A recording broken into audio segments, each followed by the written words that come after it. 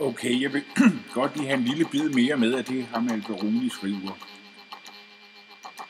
Under den karismatiske leders førerskab viger de økonomiske bekymringer pladsen af fortroens og idealernes frie udfoldelse for et frit liv i begejstring og lidenskab. Reaktioner, som øh, Weber tilskriver lederen, lederens egenskaber. Han begår med andre ord den fejl, som vi alle begår, når vi er forelskede. At give den, den elskedes egenskaber æren for den ekstraordinære tilstand, vi befinder os i. Den person, øh, vi elsker, er imidlertid ikke forskellig fra andre, ligesom vi heller ikke selv er det. Det er den type forhold, som er etableret mellem os, og det, det, det er den, vi elsker. Den ekstraordinære tilstand, vi befinder os i, som gør den elskede anderledes og usædvanlig, og dybest set den, som gør begge parter anderledes og usædvanlige. Godt, ja. Og det var sådan set bare det. Ikke altså, at... Ja. Øh, og altså dermed har vi ligesom indkredset hans grundtese.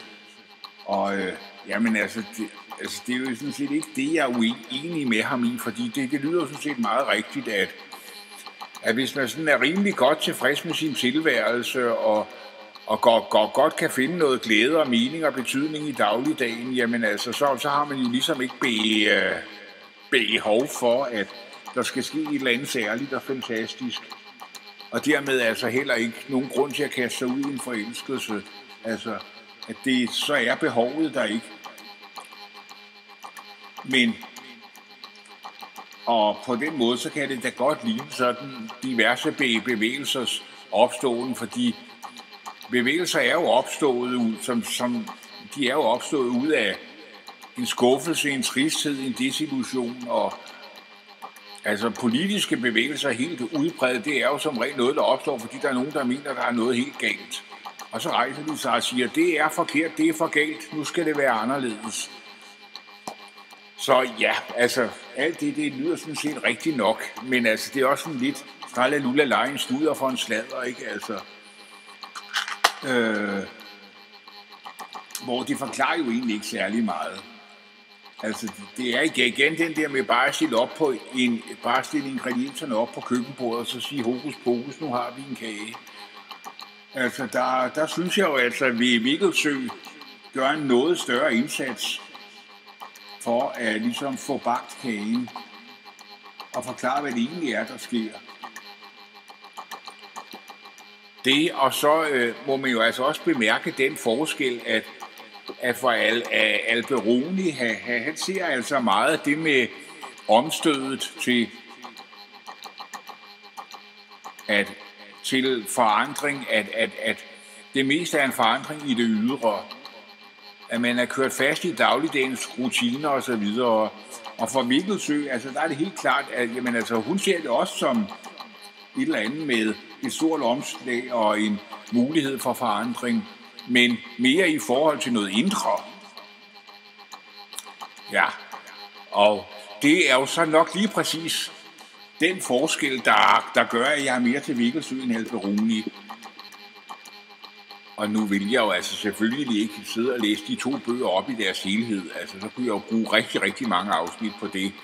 Altså, jeg vil selvfølgelig bare tage nogle højdepunkter. Jeg synes bare lige her fra indledningen, altså, hvor de ligesom præsenterer deres ærne, og ligesom deres hovedtanke bliver lagt frem og sige, hvor de ligesom siger, okay, det her, det er sådan, som jeg ser på det, og nu vil jeg så prøve at komme med nogle analyser og forklaringer på, på baggrund af den opfattelse, hvor jeg så jo også vil forsøge at argumentere for min opfattelse. Og det var derfor, jeg lige synes, vi skulle lige have det her. Nu ved vi ligesom, hvad det er for et ærne, de er ude i hver især, og så er vi ligesom det på plads, og så kan vi herefter begrænse os til nogle højdepunkter fra øh, de to bøger hver især. Jeg vil godt lige tage en lille bid mere af Vikkelsøs indledning. Vi kom jo fra det der, hvor hun skriver, på overfladen ligner den mytiske hårknude en hver anden fastlåst og til en uløselig konflikt. Men den mytiske hårknude er langt mere uoverkommelig for den enkelte, fordi den indebærer en u- et uundgåeligt sammenstød mellem en uforløst fortid og en potentiel, men blokeret fremtid. Så skriver hun så videre. Selvom den mytiske hårknud altid viser sig gennem konflikter og uoverensstemmelser, der alt for ofte ender med at ødelægge selv rigtig gode forhold, gemmer den også på, på et møde, der rækker langt ud over modsætninger og langt dybere end fraværet af konflikt nogensinde vil kunne. Og dette møde udfolder sig altid på skillelinjen mellem den, vi, vi tror, vi er, og den, øh, vi endnu ikke kender, men lidt længes inderligt efter at blive. Denne skillelinje er brandpunktet for romantisk kemi. Bogen her beskriver rejsen i ind i og afdækningen af parforholdets skjulte potentiale. Og se, den der med skjult potentiale, øh, der, der er der altså en anden bog, jeg kommer til at tænke på. Og det, ja, det er Jung, men det er ikke en rigtig bog af Jung. Det, det er faktisk en citatsamling ud, udvalgt af en fyr, der hedder Frans Alt. Og den hedder så Kærlighed og Seksualitet. Og øh, ja, jeg vil godt bruge den lidt indimellem, men det er faktisk øh, ham Frans Alt øh, forord, jeg gerne vil læse, fordi det, det er lidt interessant i den her forbindelse. Han skriver, til de søgende. Nu til dags bliver hver tredje ægteskab i Europa opløst ved skilsmisse. Fortsætter denne udvikling, vil, vil 90 procent af alle ægteskaber være opløst i løbet af 20 år. De fleste mennesker længes efter en fast forbindelse i et harmonisk partnerskab. Men de fleste mennesker er utilfredse med deres ægteskab og seksualitet, med det, de forstår ved kærlighed. Hvorfor? Modsætningen til kærlighed er ikke vold.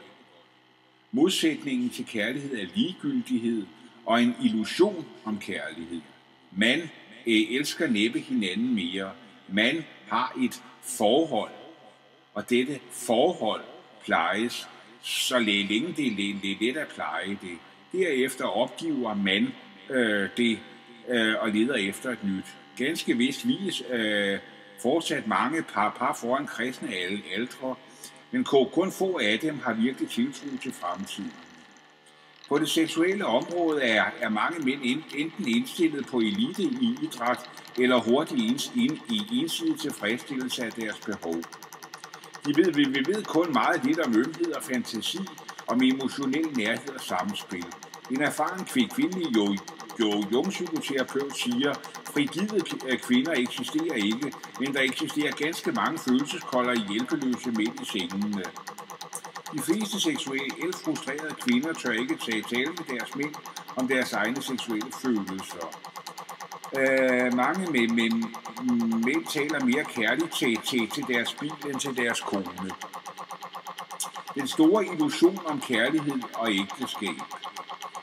Vi, vi kan ikke eje den. Øh, vi må hele tiden lære den, den på, på ny arbejde øh, for den. Kærlighed kan kun leve.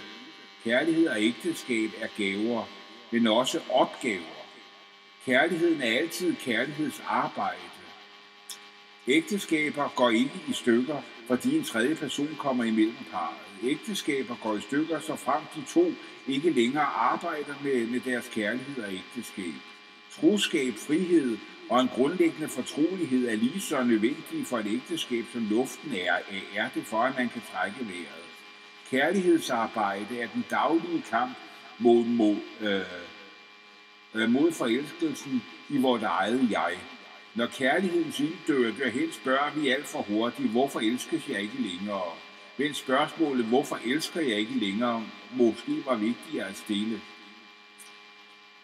Siden øh, de blev, blev, blev, blev bevidst om deres fælles polaritet, har manden og kvinden længtes efter enhed. Siden Adam og Eva. Seksuel forening er, er længslen efter helhed. Seksuel lykke er endelsen om himmelsk lyksalighed.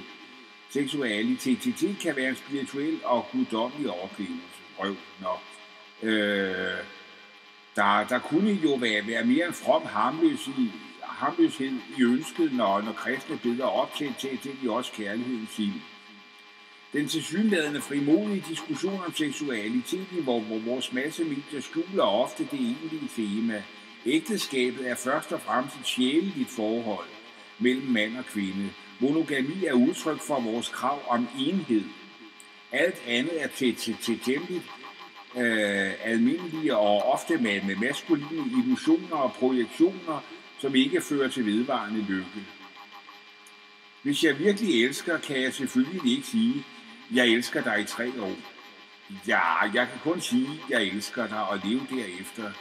C.G. Jung sværmer ikke for kærlighed, ægteskab og seksualitet. Nej, det er så svagt antydes, når hans egne ægteskabelige vanskeligheder og hans forældres ægteskabsproblemer spiller en rolle, når mesteren i selverkendelse nærmest pessimistisk udtaler sig om vores tema. I årtier havde Jo Jo Jung et forhold til en fast veninde. Hans kone vidste det, og holdt det efterhånden ud. Jung bedrog sig selv.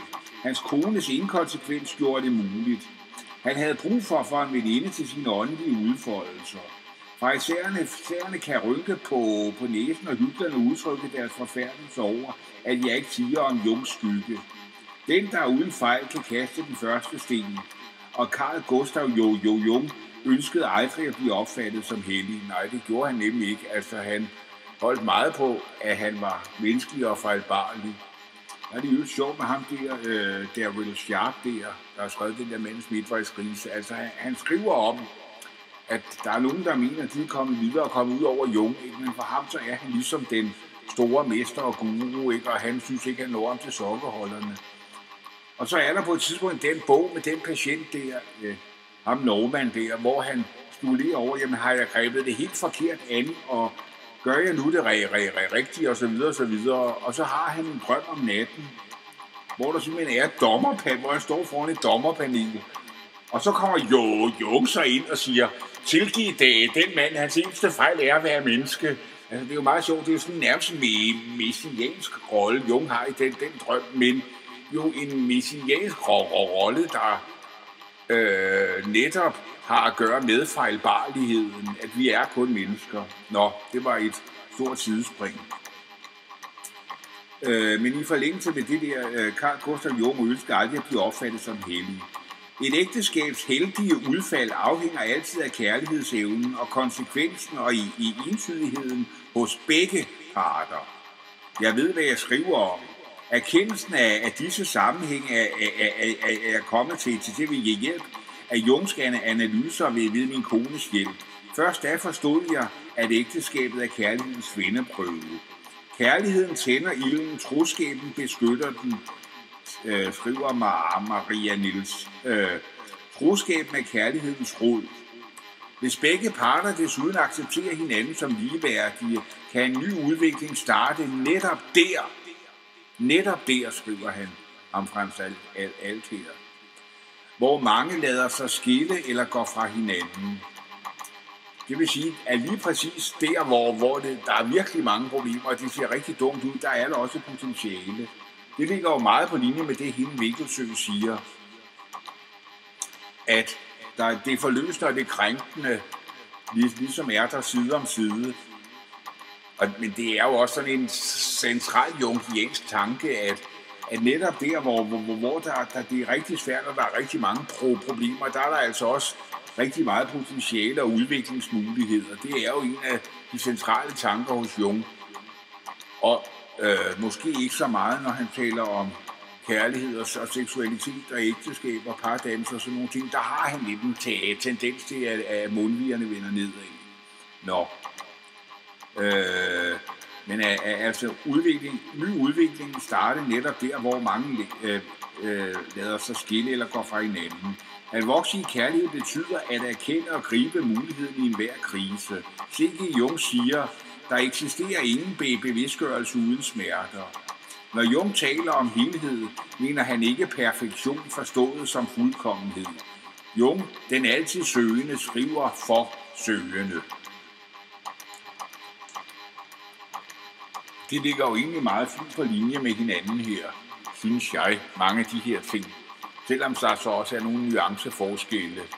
Og vil man have et modstykke til Jungs nedadvendte mundviger, så er der, er der altså Ole Hvidefeldt, som egentlig mener meget det samme, men på en mere lys måde, øh, hvor han er mere positiv.